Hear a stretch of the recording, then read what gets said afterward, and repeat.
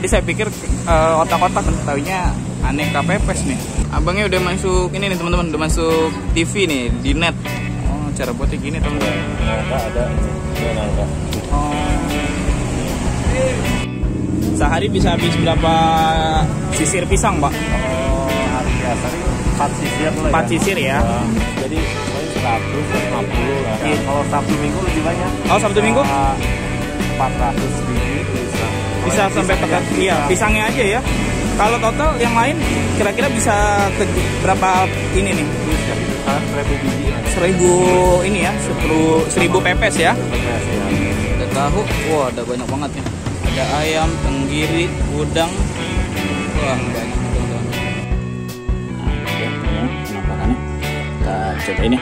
Nah, nangkanya gede-gede. Rasanya manis. Si nangkanya eh, empuk ya. Karena tadi dibakar. Rasanya kayak apa nih kayak pisangnya teman. Rasanya manis sama cuman lebih manis yang nangka kalau menurut saya. Oh, abangnya lagi diserbu nih tuh. Langganan bu? Iya betul. Langganan nih teman-teman. Indonesia. Waduh, ngeborong nih si ibunya. Lagi bernostalgia. Lagi bernostalgia, bener. Oke teman-teman, balik lagi di channel Masakan Indonesia.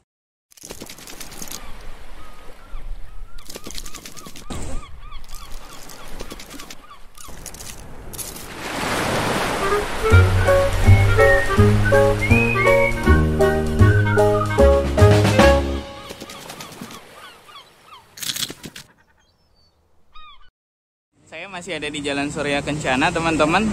Tepatnya masih di dekat lumpia basah yang tadi. Nah, lumpianya tadi ada di sana, nah. Nah, ini yang hijau. Nah, saya ada di eh, kalau dari arah ini sebelumnya nih. Nah, ini ada pepes Daniel Gang Out khas Bogor. Wah, ada pepes sagu pisang, terus otak-otak, pepes teri, pepes telur asin, pepes jamur. Wih, abangnya udah masuk ini nih teman-teman, udah masuk TV nih di net bareng Pepi nih, Bang Pepi. Berarti udah cukup terkenal nih kayaknya pepes. Ini tadi nemu makanan menarik nih buat diliput. Wah, ibunya ngeborong ya, Bu ya. Buat lauk sore. Oh, buat lauk sore ya. Jadi nggak usah masak. Bener. Langganan, Bu. Enggak, baru pertama. Oh, baru nyoba ya. Tadi saya pikir eh, otak-otak, taunya aneka pepes nih. Sebelahnya juga ada ini es mangga, es pala, dan es sirsak nih. Nanti kita cobain juga. Sagu keju, sagu coklat, nangka, sagu pisang, oncom, usus, wah lengkap nih teman-teman. Ada teri, ada jamur. Ini ada nasi bakar, telur asin, peda, ada tahu, wah ada banyak banget nih. Ada ayam, tenggiri, udang, wah banyak nih teman-teman. Bisa buat jadi lauk nih, buat makan siang atau sore ya. Kita tanya-tanya sama bangnya. Bang izin video ini bang. Oke, siap ya. Bang ini jual ap- pisang Pisang, sagu ya? Pisang sagu ya. Nah, ini ab- ternyata abangnya jual di online juga ya? Di apa? Grab atau Gojek? Di Grab ya. Nah ini ternyata abangnya jual online juga nih teman-teman. Kalau di daerah Bogor bisa pesan online kalau nggak sempet ke sini. Ini ada kebetulan lagi ada yang ambil nih orderan. Pak ini kalau Ya. pepes sagu pisang tuh khas dari Bogor emang ya Pak ya? Bogor, iya. Dari Bogor. Oh. Dari tahun 50 sih udah ada lagi zaman si orang tua saya. Oh jadi ini awalnya punya orang tua ya, usaha orang iya. tua terus sama bapaknya dilanjutin. Lanjutin. Kalau ini dengan bapak siapa maaf? Bapak Daniel. Oh dengan bapak Danielnya ya. Iya. Oh. Berarti ini udah generasi keberapa nih pak? Kedua ya. Kedua ya. Oh dari tahun 1950 jualan di sini terus. Enggak, dulu di area Kampung Gudang. Yang dekat Kebon Raya situ. Oh dulunya di dekat kebun raya ya. Kampung Gudang namanya. Gudang namanya. Kalau di sini udah Sini mangkal di sini tahun 80. tahun 80 ya. Ya, kalau Udah- lagi tahun 70-an mah dari mulai kakak saya tuh udah ngider ya. Oh ngider. Ngider keliling apa Nah. jalan, jalan roda, sudah Nah. kencana, pasar Bogor, lawang sketeng gitu areanya. Oh mantap.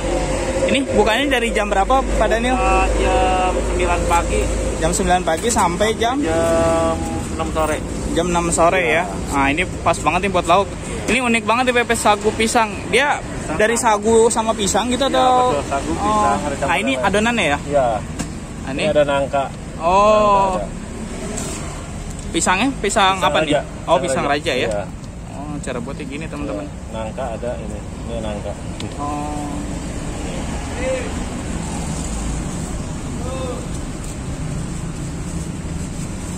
Yang best seller apa aja nih, Pak? Yang Kalau di sini? main nangka ya lebih lebih banyak. Oke. Ini dia, dia lagi dibakar. Jadi masih fresh nih, teman-teman. Sehari bisa habis berapa sisir pisang, Pak? Kalau hari biasa sih eh, paling 4 sisir lah Empat ya. sisir ya. Eh, kita paling paling bikin nggak banyak sih kan mesti ini ya mesti apa Masih fresh. Eh, eh, ya jadi mesti ini jadi paling 100 150 lah nggak kayak Oh. dulu kalau dulu kan masih normal ya Iya. sekarang sih emang eh, udah mulai lebih membaik kan Udah mulai membaik ya? dari covid itu ya Ah. sekarang sih udah mulai apa eh, pengunjung udah mulai banyak juga Mulai banyak, Ya. udah mulai kembali lagi. Mulai Terus normal, mudah- ya. Mudah-mudahan Iya. makin ini lagi, Pak. Iya. Udah seperti biasa lagi. Ya, kalau Sabtu Minggu lebih banyak. Oh, Sabtu Bisa Minggu? 400 biji bisa. Bisa sampai pisang petas. aja, Iya, bisa. pisangnya aja ya. Kalau total yang lain kira-kira bisa ke berapa ini nih? Bis ya gitu, seribu biji ada. Seribu ini ya, sepuluh seribu pepes ya. Seribu pepes ya. Ada oncom, jamur, teri gitu. Iya, ini tadi banyak banget nih teman-teman. Ya, Nanti bisa. banyak. Wah, gitu. Ini pas banget buat sarapan nih. Saya penasaran sama pepes sagu pisangnya, sa- nangka. Terus apa lagi nih yang unik nih? Itu sih yang lebih yang baru dibakar nih. Biasanya Oh, sih ada pisang coklat, tapi belum bikin sih. Oh, gitu. Tapi yang lebih banyak ini ramennya yang pisang sama yang nangka. Boleh saya mau coba deh. Saya mau pesen ini Pak berarti eh, pepes sagu pisangnya tiga, terus pepes sagu nangkanya tiga, terus pepes tahu sama pepes oncom. Ah, ah. iya satu-satu boleh. Nanti kita Kita ya matangin ya. Oke, siap. Nah, ini lagi dibakar dulu nih, teman-teman.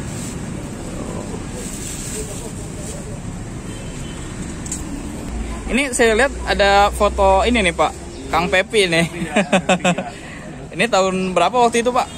Iya, enam tahun yang lalu. Enam tahun yang lalu ya. Iya, betul. Luar biasa. sih sama sama almarhum Pak Bondan. Oh, ikut iya. juga di apa?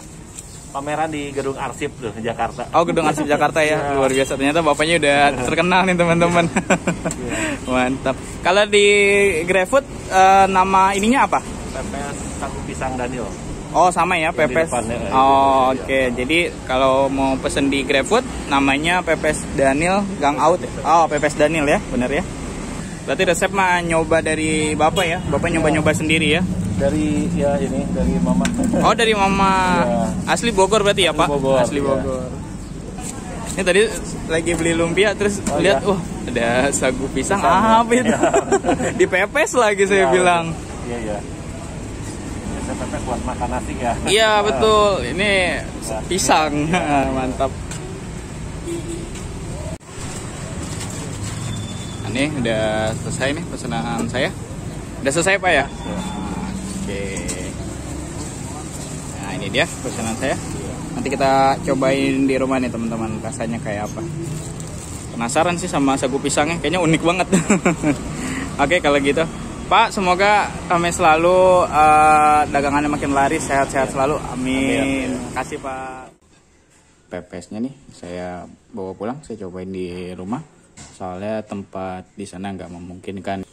Kita mulai dari yang ini dulu kali ya.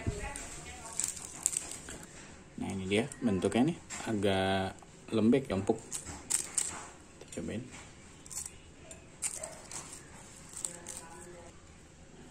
Ini dia teman-teman penampakannya. Kita cobain ya, nih ya. Bismillah. Hmm. Bener ternyata nangka. Potongan nangkanya gede-gede. Tuh. Bentuknya sekilas mirip ini ya, papai singkong warnanya agak-agak coklat gitu. Rasanya di mulut tuh le- lembut. Hmm. Rasanya manis. Si nangkanya eh, empuk ya. Karena tadi dibakar jadinya teksturnya nggak padat gitu, nggak keras. Nah sekarang saya mau cobain yang satunya lagi. Kayaknya ini yang pisang nih teman. jadi yang agak lembek-lembek tadi itu eh, nangka ya nah ini yang agak keras ini kayaknya pisangnya kita cobain lagi ini dia tuh sekilas mirip ini ya mirip papai singkong yang tadi saya bilang warnanya coklat makanya kita cobain rasanya kayak apa nih kalau yang pisang nih teman-teman? Kalau yang nangka tadi manis rasanya enak. Hmm. rasanya manis sama cuman lebih manis yang nangka kalau menurut saya. Teksturnya lengket-lengket lengket kenyal. Kalau saya eh, yang nangka sama yang pisang lebih suka yang nangka ya lebih enakan yang nangka lembut rasanya. Kalau yang pisang lebih dominan kayak ke sagunya sih tapi sama-sama enak. Cuman yang lebih enak menurut saya yang nangka tapi balik lagi ke selera ya ini kita kasih dulu. Pepes tahu sama pepes oncom. Cobain yang ini dulu deh. Nah ini dia. Eh, bentuk dari pepes tahunya. Ini tahu nih warnanya ini ya. Mirip daun pisangnya direbus. Kayaknya tahunya yang dipakai tahu putih. Nah, ini dia teman-teman. Dalaman dari tahunya ya pepes tahunya. Kita mau cobain rasanya kayak apa. Bismillah. Ada aroma-aroma kemanginya